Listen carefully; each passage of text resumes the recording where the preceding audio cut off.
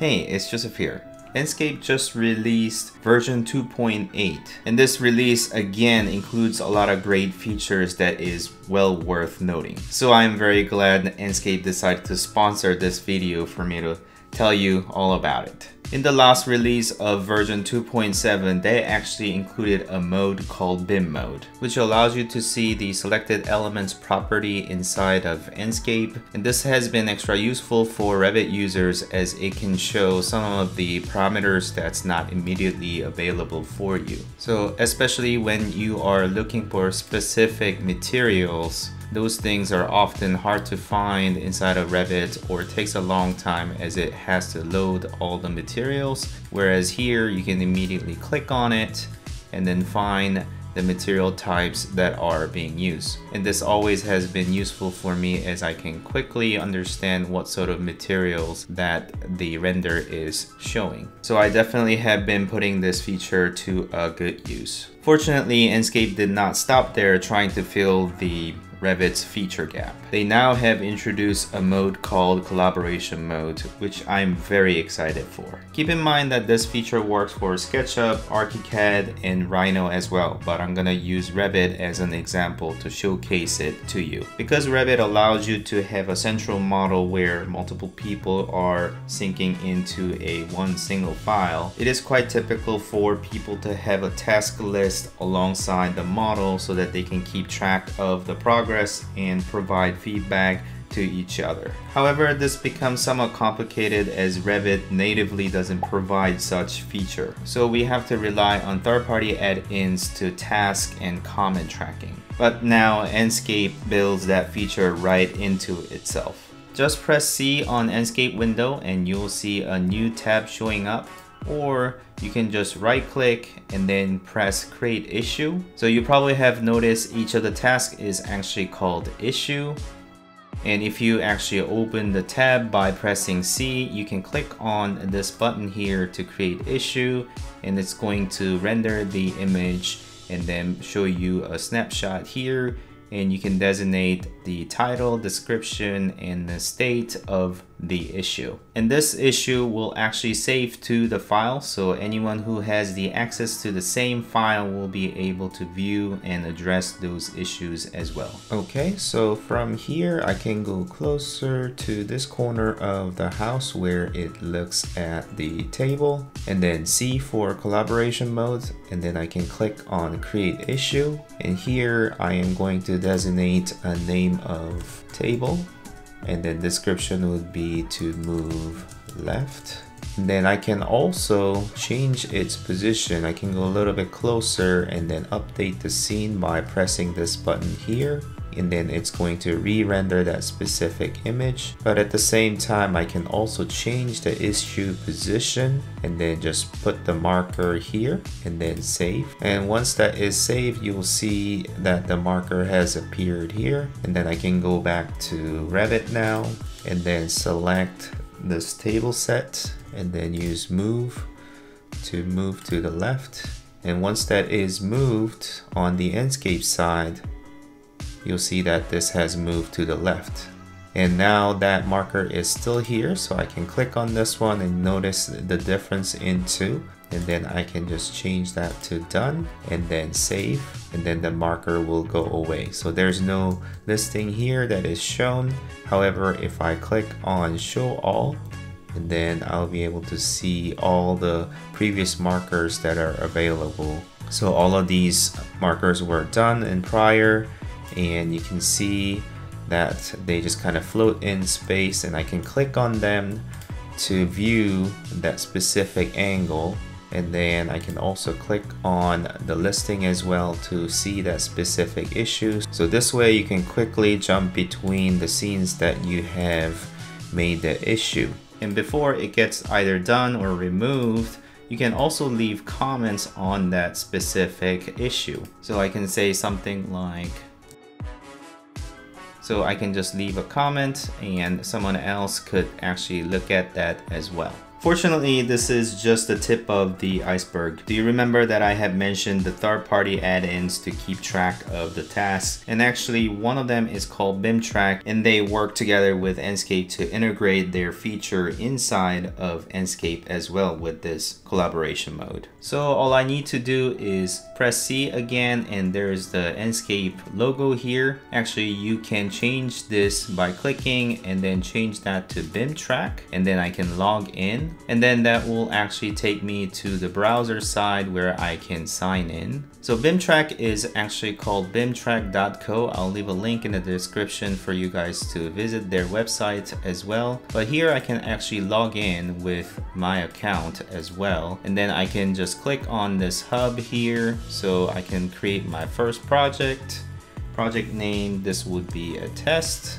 And then I can create that. And once that is live, I can go back to Enscape itself. and I can see the test project showing up here. So I can just click on that and save. So now that is live on this list here. So I can create an issue and this is a BIM track. And then you can see there's a lot more parameters that you can set. So the description is just for the test and then you can have certain type common issue. So I guess this would be a request and priority is critical and discipline. This is actually something like technology or architecture as well. And then I can go to different zone if you have some zone set. So let's say this is exterior and then I can go to the phase and then I can say something like CD assigned to myself and then I can set some due dates as well and then certain type of group. I'm not gonna set any group at this point and notify Joseph Kim as well and then save. And once I do the save, that issue will be created here. And also if I go to the projects here and then go to the dashboard and I can see my BIMTrack first list and you can see in the browser what sort of issue that was and then I can leave certain type of comment. So you see how you can view all of this via browser instead of relying on Enscape. So even if you don't have access to the model or Enscape itself, you can still address those issues or at least comment and view on those issues as well. So obviously if you had been using BIMTrack already, it's no brainer. It will be a great integration together with Enscape using a render engine to show you the snapshot of what it's supposed to be. But even if you are not using BIMTrack just to keep track of the task and the issues that you have and leave comments and such, it would definitely be useful to utilize the collaboration mode. If you have a keen eye, you probably have noticed that already, but whenever you're looking at the vegetation, you'll see that trees are actually moving. And if I zoom in closer, you'll see that the grass has a little bit of ripple effect as well. And the amount is greater if I change the settings. So if I go to the visual settings and inside of atmosphere, I can change the wind intensity and direction as well. So I can make it look like a stormy day and you'll see that trees are moving a lot more intensely almost like a stormy day, right? And it is actually the same on SketchUp as well. So if I go to the render scene inside of the SketchUp, you'll see that the trees are moving and the grass has a little bit of ripple effect. And as I let go of the keyboard and mouse, and you'll see that everything kind of freezes in that moment. And as I move again, it will have that movement back. And actually Enscape had the water rippling for quite some time now. And if I actually go back to the visual settings of SketchUp here and then change the intensity of the wind down to zero, then you'll see that everything sort of freezes and everything come to a halt. And if I want to control that separately, I can go to the materials, check on the override wind settings on the water, and I can have that different intensity. This one, I can just leave it as this. And if I go to that specific scene, you'll notice that all the trees are not moving. The grass is not moving either, but uh, water is rippling. So you can control that completely separate. Now speaking of not moving on the wind, if you actually have some sort of rug in the scene, the carpet or rug, let's say I have this carpet that's laying on here. I'll just make it into a red carpet. And previously you would have designated the keyword grass in order to make it into a fur-like material. So if I go to Enscape here, it is gonna show up as basically red grass or red carpet. However, if I enable the wind again, let's make it a bit more dramatic. And here that you'll see that the carpet is moving and it really shouldn't. Maybe if it is really long and it is outdoors like this, but you probably don't want your carpet to ripple like that. So instead of using the keyword grass, you can use the keyword carpet and it's got to be either the long carpet or the short carpet I can do long carpet and then I can go back here and you'll see that it is static now whilst the grass is moving so you can either do that or again go to material and then change that to carpet from default so from default we're no fur at all and I can change that to carpet and change the carpet settings and control how tall you want the carpet to be. But if I want really long ones, I can increase the height and you'll see that it is a really long carpet.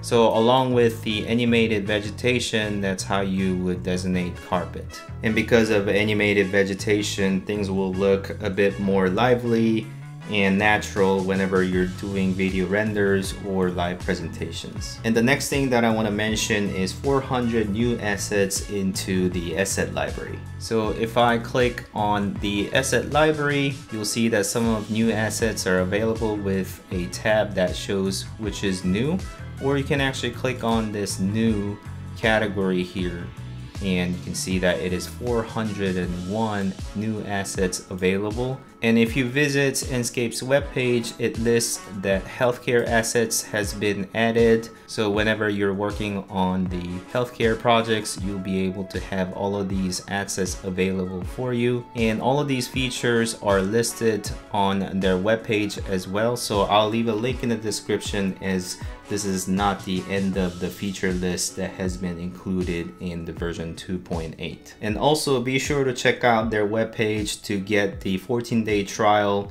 to try all of these new features if you haven't already. If you have enjoyed this content, please like this video and subscribe to my channel to continue watching these type of videos. Thank you so much for watching as always. I'll see you next time. Bye.